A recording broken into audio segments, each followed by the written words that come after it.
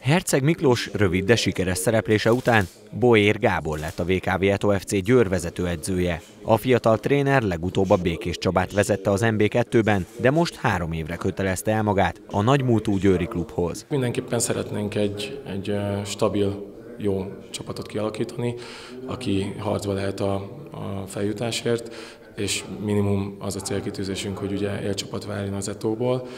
Én úgy gondolom, hogy ez a klub ez, ez nagyon megérdemli, és nagyon ö, sokat várt már arra, hogy újra sikeres legyen, és újra a legjobbak között szerepeljen.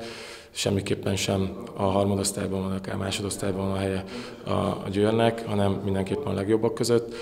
Ugye három éves szerződést kötöttünk, igazából három év alatt kell ezt elérnünk, ezt a célt, de én mindig azt mondtam, hogy, hogy amelyik sorozatba elindulok, vagy amilyen sorozatban szerepelünk, ott a legjobbak akarunk lenni, szeretném megnyerni, úgyhogy ez a következő évben is így lesz. Sós Imre ügyvezető elmondta, már márciusban szerettek volna egy olyan edzőt, aki átveszi a csapatot, és tud készülni a következő szezonra. Az edzőjelöltek között volt Kondás Elemér, és az MTK legutóbbi vezetőedzője Feckó Tamás is.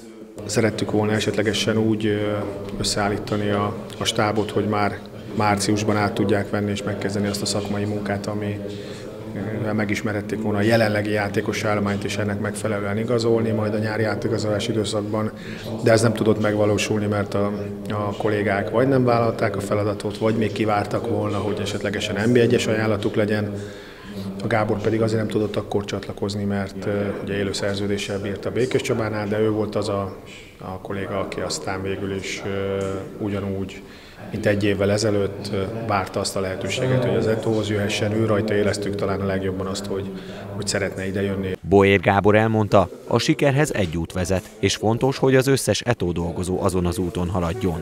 Én mindig úgy dolgoztam, hogy nagyon pozitív szemlélettel próbálok beleállni a munkába, de ugyanis kell lenni az elsőt az utolsó emberig, nem csak az öltözőben, hanem az öltözőn kívül is, a klubnál dolgozó bármelyik embernek akarni kell a sikert mellé pedig rengeteg munkát igényel ez, amit mi biztosítani fogunk. Én úgy gondolom, hogy, hogy tényleg nagyon várjuk már a közös munkát, és várjuk azt, hogy, hogy sikeresek lehessünk. A vezetőedző munkáját asszisztense Makra Zsolt segíti majd. A csapattól biztosan távozik Tóth Dávid és Petro Balázs, mindketten a haladáshoz térnek vissza.